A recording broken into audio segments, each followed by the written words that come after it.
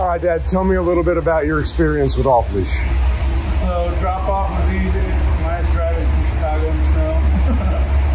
um, her main problem was barking and just distractions in general. Definitely helped with that. The everyday report cards with all the nice pictures and videos of progress were pretty cool. Yeah, Would you recommend off leash? yeah, for sure. Mila, you're a graduate girl. I'm proud of you. Good job, baby. You're a graduate.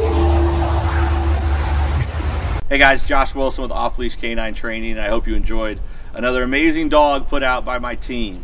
Uh, across the country, we don't care about the breed, the size, the age, or the behavioral issue. We're going to make them awesome for you. If you're interested in seeing more videos like the one you just saw, click the image here on the screen. Also, I'd encourage you to check us out on Instagram and Facebook. And before you leave our channel, make sure you subscribe. So every time a new video comes up of another outstanding dog doing some crazy, amazing things, you're going to get notified in your email address. And for more information on other locations we have around the country, check us out at joshwilson.dog. Appreciate you so much for watching our channel. See you soon.